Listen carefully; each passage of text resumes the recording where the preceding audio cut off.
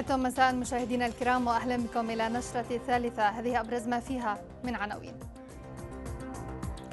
السيد الرئيس يصل مساء اليوم إلى السعودية للمشاركة في القمة العربية التي تنطلق غدا.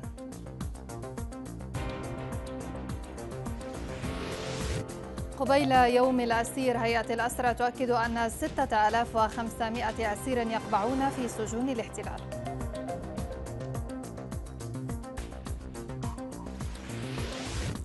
مقتل 27 إرهابيا في عملية أمنية للجيش المصري وسط سيناء وشمالها.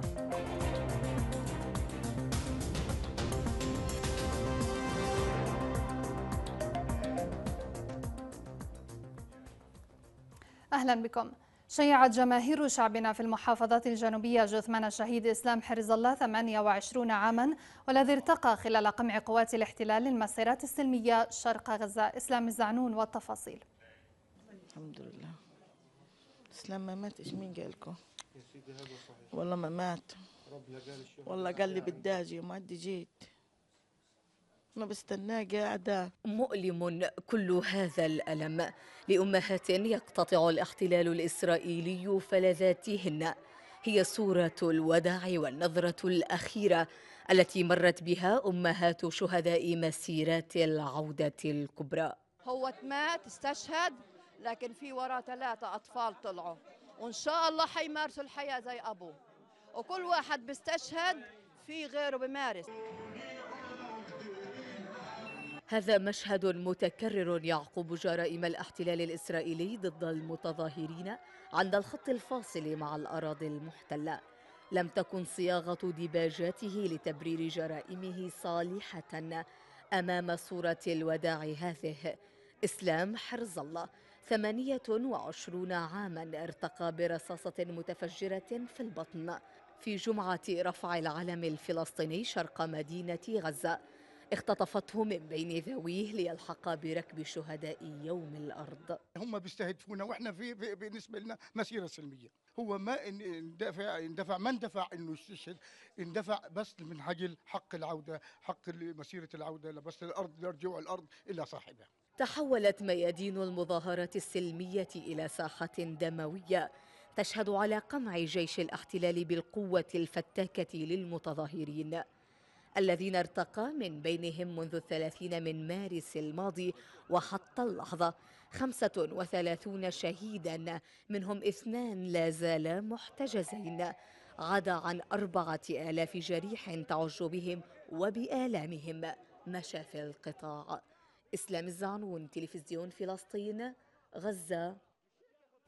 يصل السيد الرئيس محمود عباس مساء اليوم إلى السعودية للمشاركة في القمة العربية التي تنطلق غدا في مدينة الظهران وستبحث القمة جملة من الملفات وآخر التطورات في الساحة العربية وفي مقدمتها القضية الفلسطينية. للحديث أكثر حول هذه القمة ينضم إلينا موفدنا إلى المملكة العربية السعودية خميس ماخو معنا عبر الهاتف. أهلا بك معنا خميس. كيف تبدو صورة الأوضاع لديك الآن خاصة وأن السيد الرئيس سيصل بعد ساعات قليلة إلى السعودية؟ أهلا بك ديانا وبالسادة المشاهدين. يعني عملية السيد الرئيس سيصل بعد ثلاث ساعات تقريبا آه، من آه، الآن. إلى آه، ظهران حيث تعقد القمة العربية التاسعة والعشرين. استقبال رسمي للسيد الرئيس سيكون على أرض آه، المطار. هنا في ظهران آه، سيشارك فيه أمير المنطقة الشرقية. أيضا سيكون حاضرا أمين جامعة الدول العربية بالإضافة إلى أمين منطقة الدمام. نتوقع وحسب ما أشار سفير دولة فلسطين لدى المملكة العربية السعودية آه، سفير بسام الاغا أن يعقد السيد الرئيس آه، مساء هذا اليوم وفور وصوله العديد من اللقاءات الثنائية مع القادة والزعماء آه، العرب على هامش أعمال هذه القمة لبحث تطورات القضية الفلسطينية والتطورات الميدانية على الأرض والإجراءات الإسرائيلية المختلفة واليات بحث آه، عمليا آه، دعم آه، الموقف الفلسطيني في المحافل آه، الدولية وتحديدا فيما يتعلق برؤية وخطط السيد الرئيس محمود عباس التي طرحها مؤخرا في مجلس آه، الأمن آه، الدولي. نعم بالتأكيد سنتابع وقائع هذه القمة وتفاصيلها معك موفدنا خميس ماخو في ظهران بالمملكة العربية السعودية. كنت معنا عبر الهاتف. شكرا جزيلا لك. هنأ السيد الرئيس محمود عباس أبناء شعبنا في الوطن والشتات والأمتين العربية والإسلامية بذكرى الإسراء والمعراج.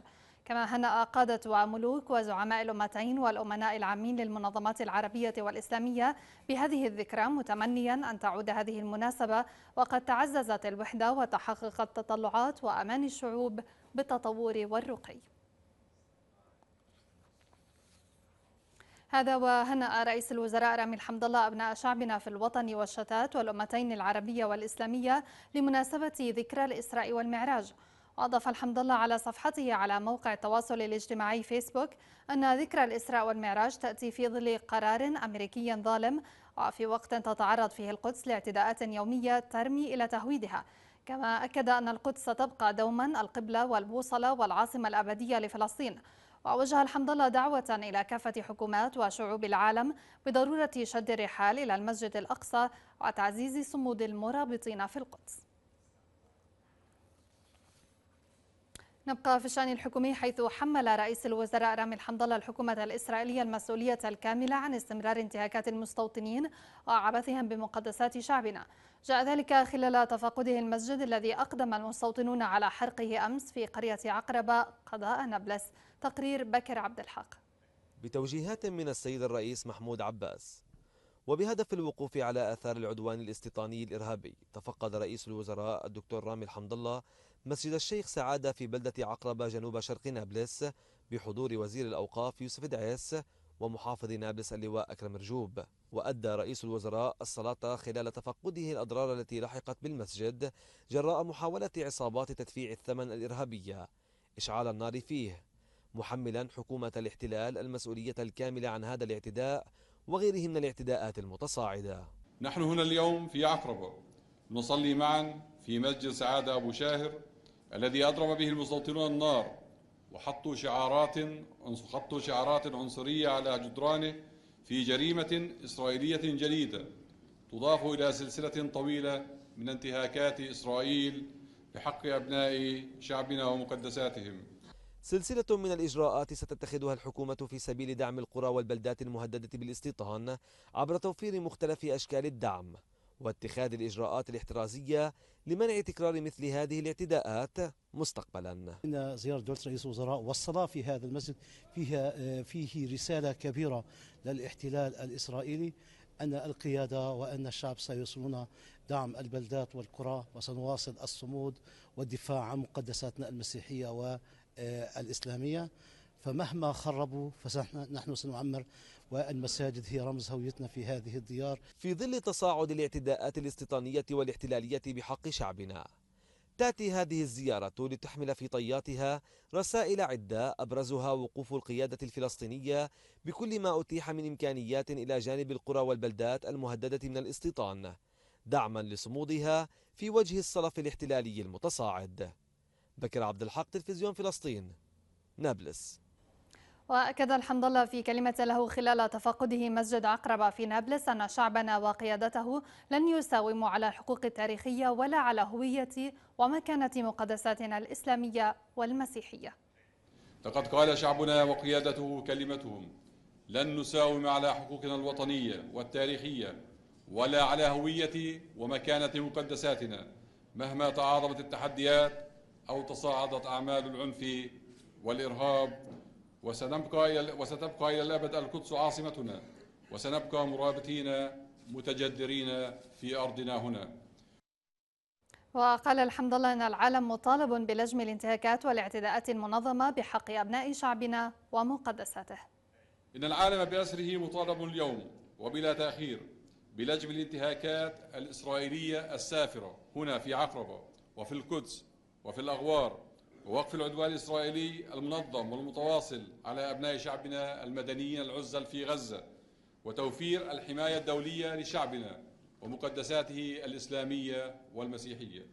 وفي وقت تحتضن فيه بلادنا وأمتنا الإسلامية ذكرى الإسراء والمعراج فإننا نناشد الدول العربية والإسلامية الشقيقة والصديقة لجنة القدس وأهلها وحماية تاريخنا ومقدساتنا ومواجهة سياسة التهويد والحرب المعلنة على الوجود والتاريخ الفلسطيني.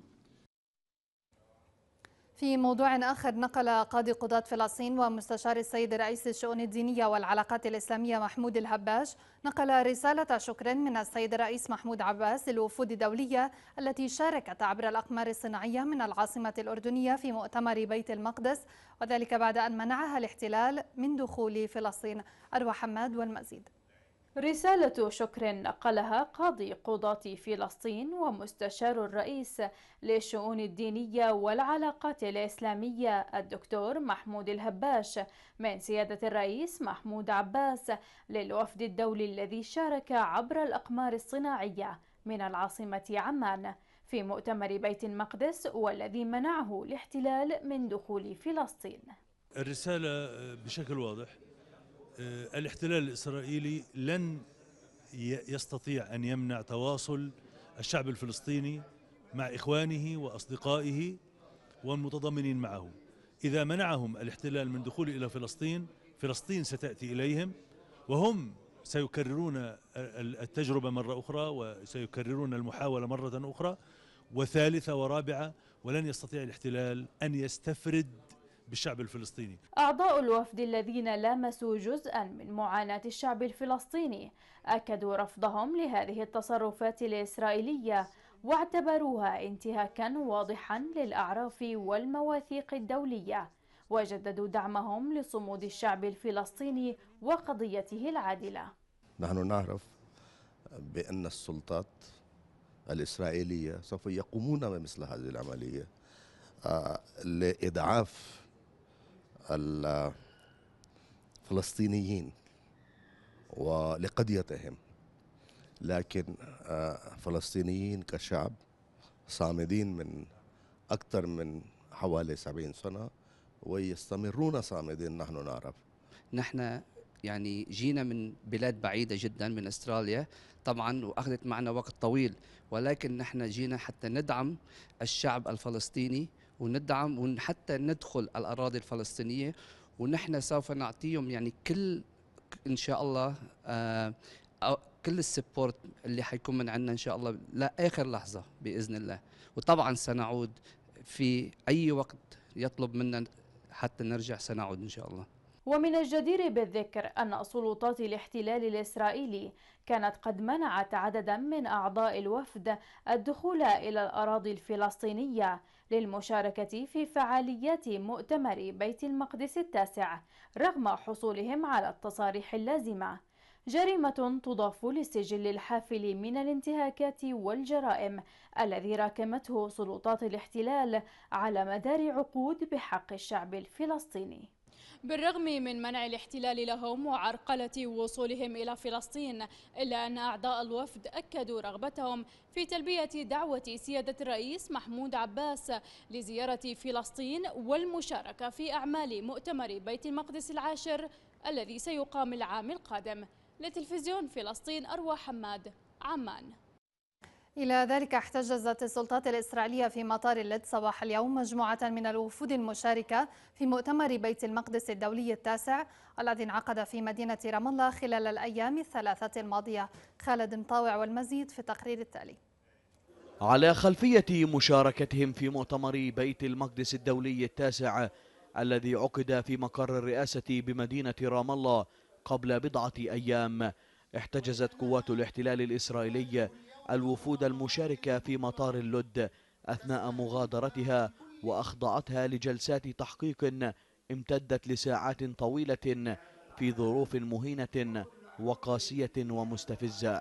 استهداف قوات الاحتلال سفراء السلام والمناصرين لحقوق شعبنا ومعاقبتهم في ذهابهم وإيابهم بشتى الوسائل والطرق دون أن تقيم وزنا للقانون الدولي والعلاقات بين الدول المنتمين إليها ومعاملتهم كأعداء تحت حجج وذرائع احتلالية واهية.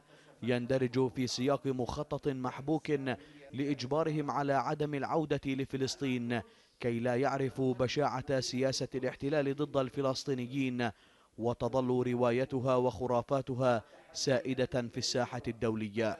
وحشية الاحتلال في التعامل مع قوافل السلام التي تزحف بين الفينة والأخرى للوقوف إلى جانب شعبنا الرازح تحت نير الاحتلال ويعاني ويلات الظلم والاستكبار الإسرائيلي.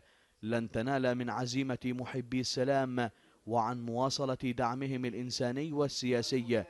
تجلى ذلك من خلال ردات فعل الوفود التي لجأت إلى حكومات بلادها لمطالبتها بتقديم شكاوى فورية في المؤسسات الدولية والأممية ضد إسرائيل لمقاضاتها على معاملتها القاسية والمهينة وعدم احترامها رعايا تلك الدول خاصة وأنها من النخب الفكرية والعلمية والسياسية والدينية دون أي مبررات أو أعذار.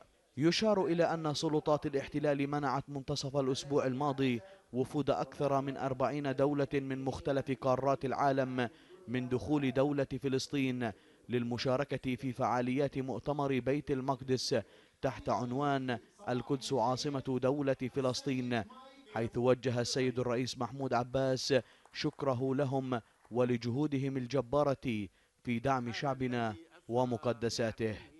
خالد مطاوع تلفزيون فلسطين.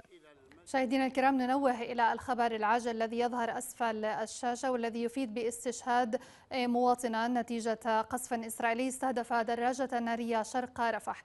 نشرتنا مستمرة وتشاهدون فيها. طالبان يقرأان أكثر من 160 كتابا في أريحة ويفوزان بمسابقة للقراءة.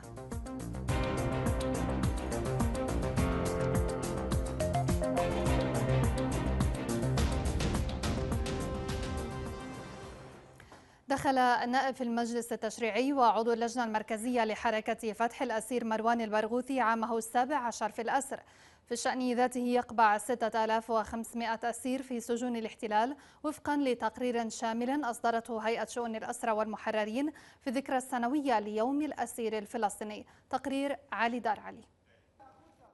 بحكم يقضي خمسة مؤبدات وأربعين سنة يدخل النائب في المجلس التشريعي وعضو اللجنة المركزية لحركة فتح الأسير مروان البرغوثي عامه السابع عشر في سجون الاحتلال. اعتقل البرغوثي 61 عاما في الخامس عشر من شهر نيسان عام 2002 من أحد المنازل في مدينة رام الله وأسف رئيس الوزراء الإسرائيلي أريير شارون في حينه لاعتقاله حيا قائلا كنت أفضل أن يكون رمادا في جراح وتتهم إسرائيل البرغوثي بقيادة تنظيم حركة فتح التي شغل أمين سرها في الضفة الغربية والمسؤولية عن عمليات فدائية أدت إلى مقتل وإصابة إسرائيليين. في العام 2004 وحين أصدرت محكمة الاحتلال حكمها الجائر رد البرغوثي على القاضي الإسرائيلي قائلا إذا كان ثمن حرية شعبي فقدان حريتي فأنا مستعد لدفع هذا الثمن. تعرض البرغوثي للاعتقال والمطاردة طوال سنواته الجامعية حيث كان من قيادات الانتفاضة الأولى عام 87 كما فرض الاحتلال عليه الإقامة الجبرية قبل إبعاده خارج البلاد. ثم عاد إلى أرض الوطن بعد توقيع اتفاق أوسلو وفاز في انتخابات أول مجلس تشريعي فلسطيني عام 96 كما نجا من عدة محاولات اغتيال أثناء انتفاضة الأقصى. ولد البرغوثي في قرية كوبر إلى الشمال الغربي من مدينة رام الله وانخرط في حركة فتح في سن الخامسة عشرة. يحمل البرغوثي درجة البكالوريوس في التاريخ والعلوم السياسية ودرجة الماجستير في العلاقات الدولية كما حصل على درجة الدكتوراه وهو داخل السجن. وتدخل أعوام أسر البرغوثي السابعة عشرة قبيل الذكرى السنوية ليوم الأسير الفلسطيني والذي يوافق السابع عشر من نيسان حيث يقبع في سجون ومعتقلات الاحتلال نحو ستة آلاف وخمسمائة أسير يعانون الحرمان والألم في سبيل الحرية. علي دار علي تلفزيون فلسطين. أعلنت المنظمة العربية للسياحة عن اختيار القدس عاصمة للسياحة العربية لعام 2018 وأكد رئيس المنظمة الدكتور بندر بن فهد الفهيد أن اختيار القدس عاصمة للسياحة العربية يعكس اهتمام المنظمة والمجلس الوزاري العربي للسياحة بإبراز مكانة القدس التاريخية والدينية وترسيخ مكانتها في الذاكرة العربية.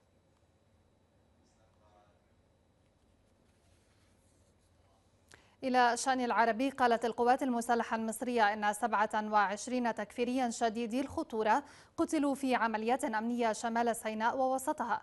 وأوضحت القوات أن ستة تكفيريين قتلوا أثناء استهداف القوات الجوية لأحد الأوكار التي تتحصن بها العناصر الإرهابية كما تم القضاء على تسعة تكفيريين والقبض على 114 آخرين شمال سيناء ووسطها.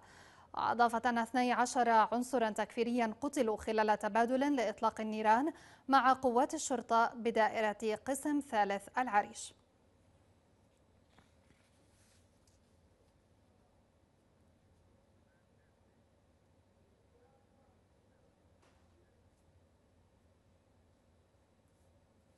مشاهدينا الكرام نتحول إلى قطاع غزة لمتابعة آخر التطورات الميدانية هناك وتنضم إلينا مراسلتنا إسلام الزعنون. إسلام كيف تبدو صورة الأوضاع لديك والحديث عن وجود شهيدين جراء قصف لطائرات الاحتلال؟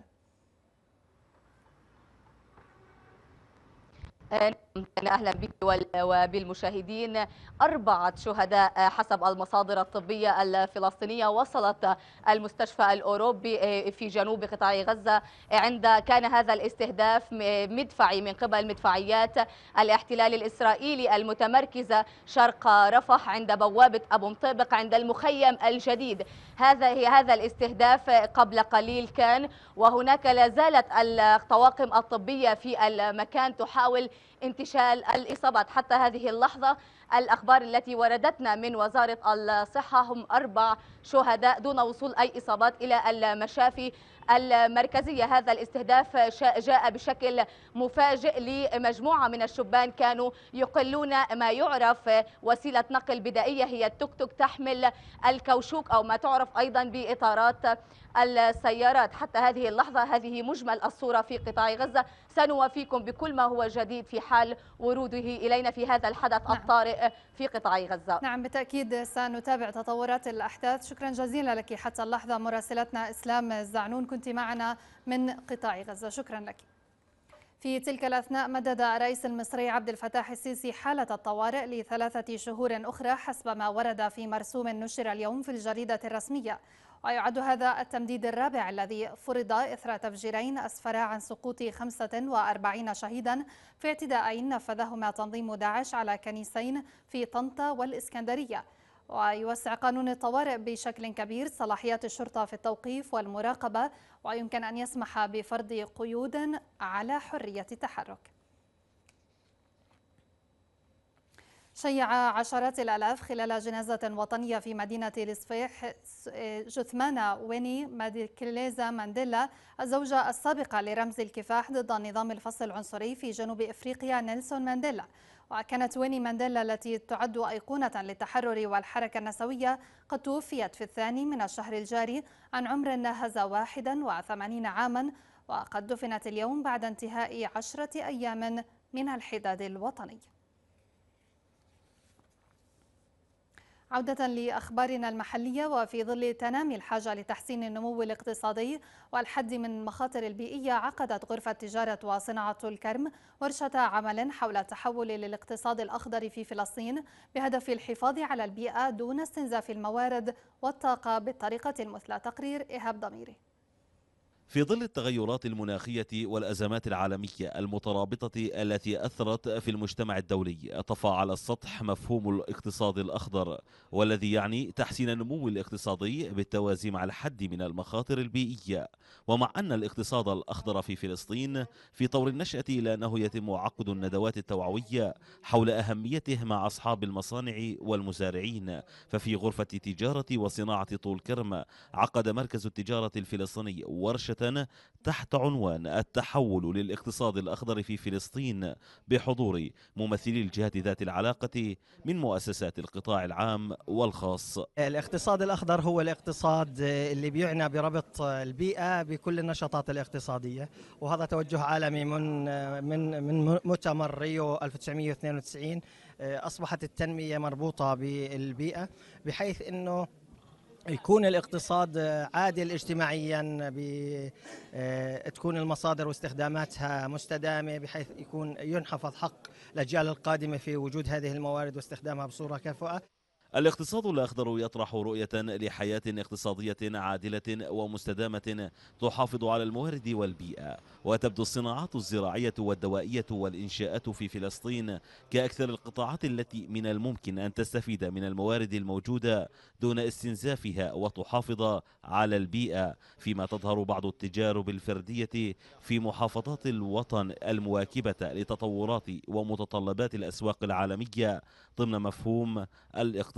الأخضر. الاقتصاد الأخضر إحنا بالتصدير خصوصا آه، لدول الخليج ولتركيا ولقسم من آه، دول أوروبا استفدنا منه بشكل عالي جدا لأنه بتكون المواصفة صديقة للبيئة بنسبة 100% وسبب هذا النمو والارتفاع بالدرجة الأولى اللي هو الاقتصاد الأخضر وقلة مخاطره على البيئة آه، بالهدر وبالتفاصيل كاملة.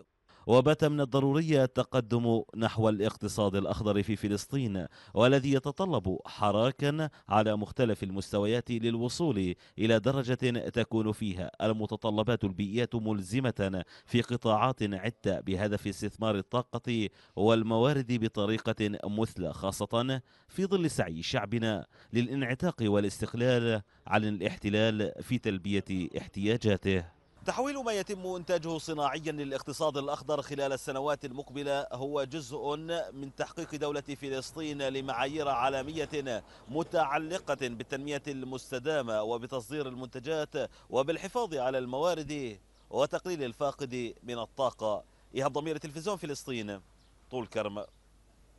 فاز طالبان محمد سلامة ويارا بلاطيا بمسابقة القراءة على مستوى محافظة أريحة حيث قرأ أكثر من 160 كتابا في مبادرة طرحتها وزارة التربية والتعليم بالشراكة مع وزارة الثقافة. تقرير وطن بلاس.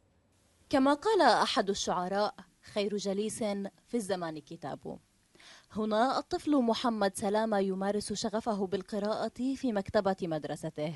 بعد أن فاز مع زميلته يارا بلاطية بمسابقة القراءة على مستوى محافظة أريحة والأغوار وشارك بتحدي القراءة العربي. أنا بقرأ منذ زمن طويل آه، أحب القراءة نمت آه، مع نموي وأفكاري. شغف حبي في القراءة؟ أنا بحب القراءة بالأول إنها بتنمي المعلومات اللي عندي وبتزيد الوعي لكل الطلبة اللي بقرأوا آه، سواء كانوا قارئين محبين القراءة أو بقرأوا مشان يشاركوا بتحدي القراءة.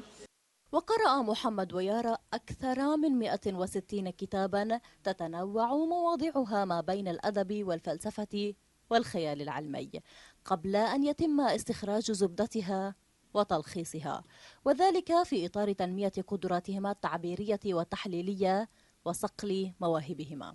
إحنا بنمشي في خطوط متوازية مع بعض هناك تقاطعات في العمل من حيث آه، التعاون في عمل ندوات ثقافية مسابقات ثقافية المشاركة في عدة أنشطة تنمي مواهب الطلبة. إحنا معنيين جدا جدا في هذا الموضوع.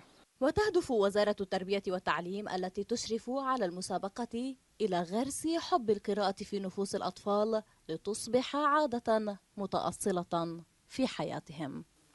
نزل القرآن الكريم بسورة اقرأ. فالقراءة مؤشر يدل على حضارة وثقافة الأمم ولهذا تسعى وزارة التربية والتعليم إلى تعزيز حب القراءة في نفوس الطلبة. من مدينة أريحة وطن بلاص تلفزيون فلسطين. أما الآن مشاهدينا فننتقل بكم إلى حالة الطقس والزميلة ريم صلاح. مساء الخير ديانا شكرا.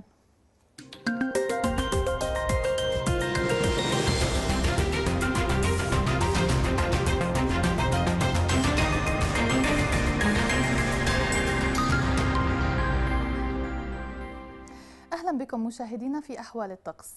يطرأ انخفاض طفيف نهار اليوم على درجة الحرارة مع بقائها أعلى من معدلاتها لمثل هذا الوقت من العام بحدود أربع درجات مئوية. ويكون الطقس غالبا صافا وربيعيا معتدلا وتكون الرياح شمالية غربية خفيفة إلى معتدلات السرعة تنشط أحيانا. بالنسبة لأجواء هذه الليلة فتكون صافية وباردة نسبيا في المرتفعات الجبلية ولطيفة في بقية المناطق. والآن مشاهدينا ننتقل وإياكم إلى درجة الحرارة العظمى التي سجلت لنهار اليوم في بعض المدن والمحافظات المحلية ونبدأ من العاصمة القدس المحتلة 25 رام الله 24 نابلس 26 جنين وطوباس 29 تلكرم وقلقيلية 27 سلفيت 25 أريحة 33 بيت لحم 25 الخليل 24 ننتقل إلى المحافظات ما هي رسالتكم من الخبر؟ رسالتنا إحنا أهل الهون الاحتلال الآن يمنعونا من أوكي أوكي أوكي, أوكي.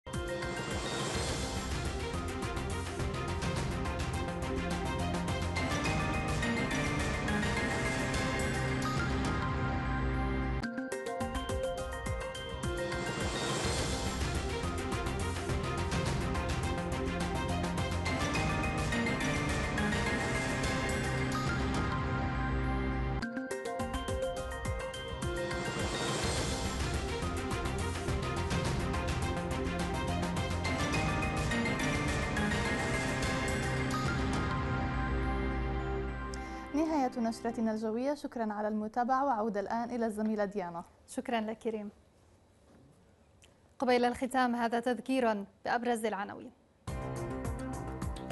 السيد الرئيس يصل مساء اليوم إلى السعودية للمشاركة في القمة العربية التي تنطلق غدا.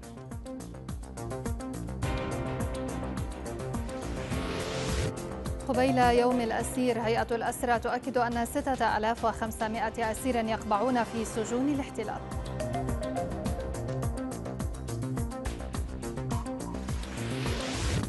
مقتل 27 إرهابيا في عملية أمنية للجيش المصري وسط سيناء وشمالها. مشاهدينا الكرام إلى هنا نكون قد وصلنا إلى ختام هذه النشرة الإخبارية. أشكر لكم دائما طيب المتابعة. إلى اللقاء.